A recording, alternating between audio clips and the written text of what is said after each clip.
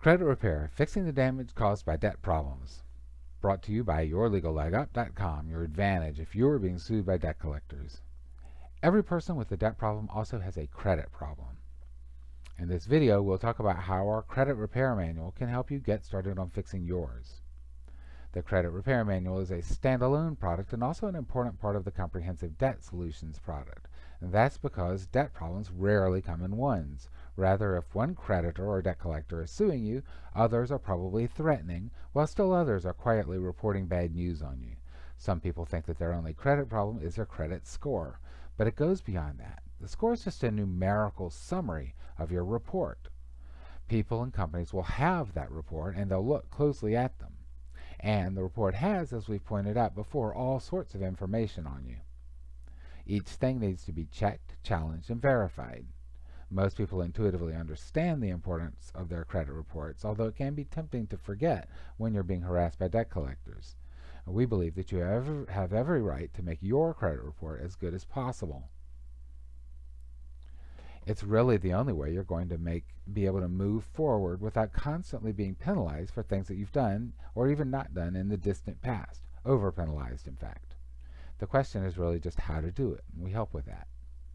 Credit repair is also different than uh, the other areas of debt law that we've addressed, debt litigation and negotiation, most, mostly because unlike those areas, performance comes in only a vaguely adversarial mode.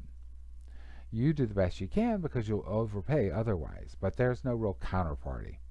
That is, there's no party on the other side that has a direct financial interest uh, in doing what you don't want them to do or hurting you. Of course, they aren't really eager to do what you want them to do either.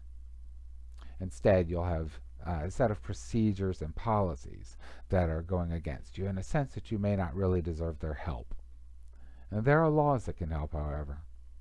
As in debt collection, however, the other side expects you to be burdened by various feelings of guilt and other negative thoughts, things that will keep you from effectively enforcing your rights. Ignorance, too, is a big problem, right? They, on the other hand, feel perfectly free to do however little they can get away with. Instead of a single counterparty, anyway, there's a series of challenges, pieces of bad information that you want to remove from your report. You want your credit report as a whole to contain as few negatives as possible. And there are systems you must work through and around to get what you want done. We help you navigate those systems. You'll win some and you'll lose some, and that's okay. You need a different mindset to do credit repair as opposed to debt litigation or negotiation. Those things tend to be kind of all or nothing affairs. Credit repair, on the other hand, is a sort of war of attrition. That means you fight on a bunch of issues and either wear them down on the whole thing or win enough parts of the war to do you a lot of good overall. You must be willing to look for different approaches and in different directions, different people or companies to try to start peeling away the bad information from your report. For example, if you have a debt that went unpaid and then to a debt collector, there's a good chance that both of them, the original creditor and the debt collector, are reporting the debt as delinquent. First check, is the debt being reported as assigned? Or are you getting two apparently independent bad items on your report? If so, you need to make sure your credit report shows that the debt was assigned. You do that by disputing the information. Otherwise, you're getting hit twice for the same news, but that's just the start. Second check, does the debt collector have the information it needs to verify the debt in the face of a dispute? And how do you do a dispute so as to maximize your chance of getting an item deleted? Those things are actually um, things you need to know.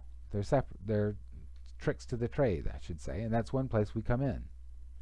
Once you get the debt collector to delete the item, what do you do about the original creditor? Can you get it to delete the information too? And how would you do that?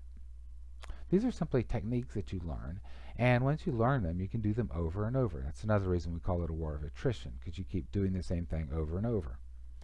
You have a main source of rights in this area. It's the Fair Credit Reporting Act, the FCRA, which actually gives you a chance to get things done.